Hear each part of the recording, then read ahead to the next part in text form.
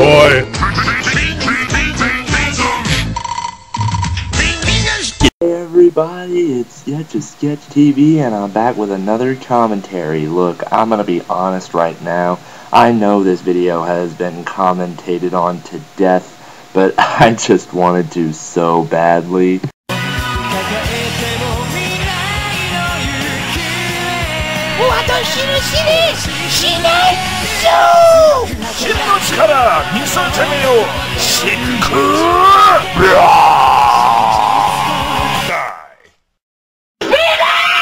You know, for someone who complains a lot about overusing references, DCE seems to use a lot of references.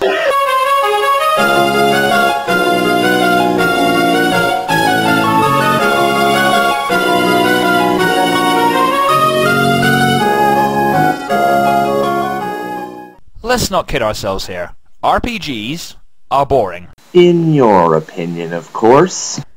They drag on and on with the same mediocre type plots and styles.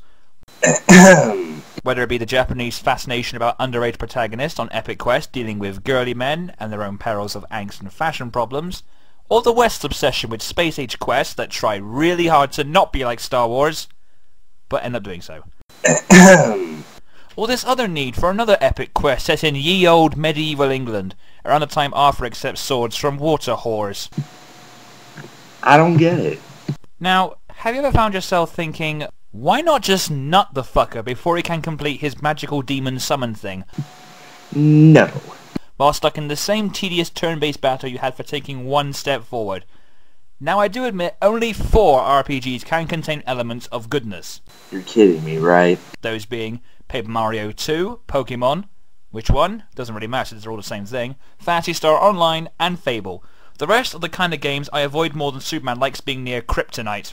So, I offer RPGs and HDG! Yeah, that was sad. you got that right. To make them playable, enjoyable, and at the end of this video, I offer you three ideas if I made an RPG.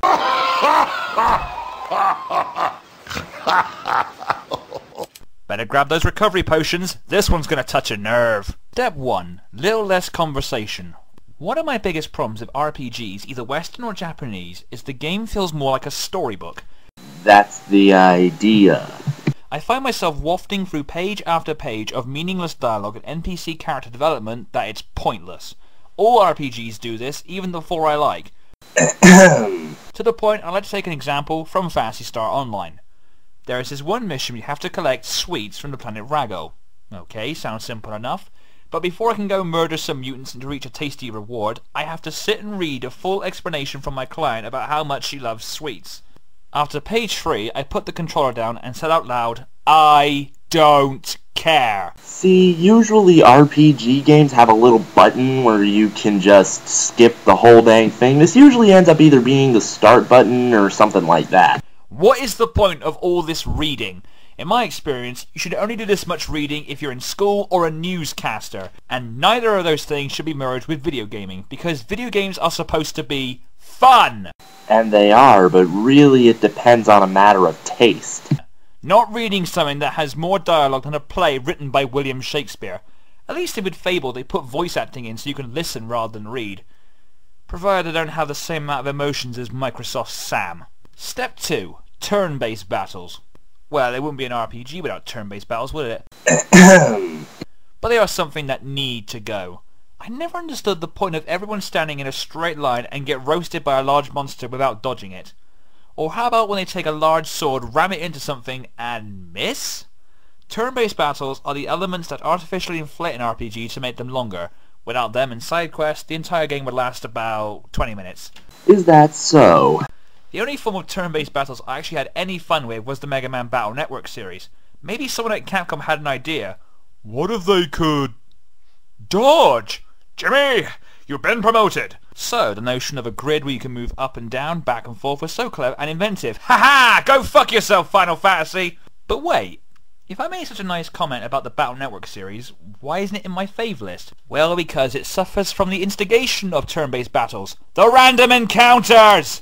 There are so many of them that it stopped being funny when you've used all your health potions. You still have 1 HP when you finally confront the boss of the area. Wow, if that happened to you, you must really suck at RPGs then. Both of these can be explained as thus. Imagine you are in a long hallway. At the end of the hallway is a bedroom leading to a naked man or woman, whichever is your poison. Every two or three steps closer you're hit in the toe by a mousetrap. You spend three minutes rubbing your foot in pain. By the time you reach the door, you're either tired or she's fallen asleep. See, usually in RPGs, there's a little way to avoid random encounters, just as there's a way to avoid all those mouse traps in the hall. Step 3. Typical characters. Stop me if you've heard any of these before. A spiky-haired, angst-ridden parasite aged between 12 and 18. a short brown-haired man with a wrestling physique. A male who dresses like a girl and sounds like a pedo. Another teenage thing but has boobs and very little clothing who is around the age of 15. Or a Stallone Schwarzenegger wannabe. The problem I find with any RPG is the characters are all predictable. So I usually welcome games that offer you a fully customizable character so you can be an ugly fat man in his 40s or a cyborg. Final Fantasy is guilty of this. The announcement of a quote-unquote new title offers the same bullshit as the last one. or their continued need to feed the FF7 scumbags by making something else that's connected to the holy grail for the feeble Fantasy 7 fans. Step 4. Adding RPG elements to something doesn't equal good idea. Something that never gets better is the notion of taking a well-established franchise which never had anything to do with rather pointless games and adding those elements to them. Mega Man X was a series I really enjoyed and it didn't have a lot of faults. Then came Command Mission, a game that could have worked better as a side-scroller shooter, which is what Mega Man is all about. As ironic as it may sound coming from me, I really have nothing to say on the matter. Not standing around waiting to be shot or doing the shooting. Sonic the Hedgehog seems to be that guy in college who tries to impress you by doing anything or trying everything. So he tries some Chronicles and hopes for a Dark Brotherhood, Actually, in my opinion, Dark Brotherhood was a welcome change to Sonic the Hedgehog because everyone gets tired of the usual layout or um, aesthetic to a certain game after a certain amount of time. So, adding RPG elements to Super Mario, adding RPG elements to Sonic the Hedgehog, these were all welcome changes for me. when he really needs a visit from some Undertakers.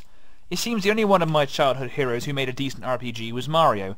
But then again, he's practically been in everything except Super Mario Bros. 4. Mind you, the Simpsons game did make me laugh for mocking RPGs and how stupid they are, which is a rare thing when something like The Simpsons can make me laugh. And finally, step 5. Playing World of Warcraft doesn't make you cooler than everyone else. This will sound familiar to everyone. You ever been in college or anywhere in public, and one of your friends begins rambling on about his or her adventures in the World of Warcraft? No, because most of my friends are anything but losers. The stories they tell where he tries to make out like he just won a fistfight with Satan and fuck Salma Hayek as a victory prize? Here is a pro tip for those people. There is nothing cool about World of Warcraft. Then again, the same can be said for MySpace, future guide coming soon. Most of these stories use the foreign language of nerd and are hard to try and comprehend.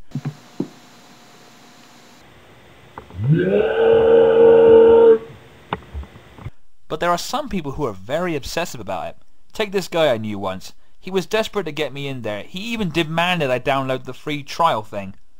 He stopped asking me when I offered to upload my foot into his anus region.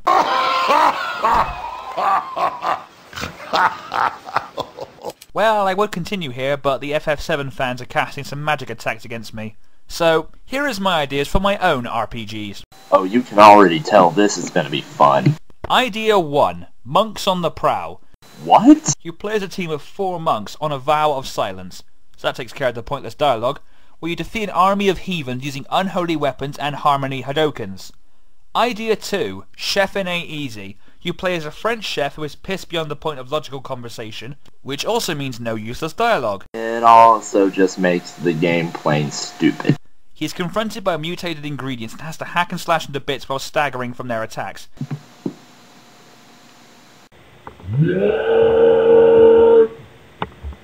And idea number three, Starshine. A little girl who is some star child thing, possesses no vocal cords, so it means you get the idea. Now this little star child thing destroys asteroids, metroids, hemorrhoids, and other words ending in oids as you press different combinations on the controller or shape the Wiimote in every gesture except the wanking movements. So there you go, an HDG on RPGs to make them playable, enjoyable, and complaint free. If you've been enlightened by this video, leave a comment. If you like this video, well that's just hard cheese. I would add something witty on the end, but I ain't got anything this time. See you next time, guys. Babality.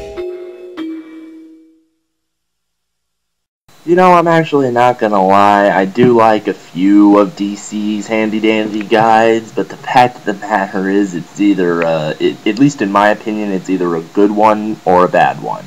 This has been Sketch McLean. For so long as lulls exist, so shall Sketch TV.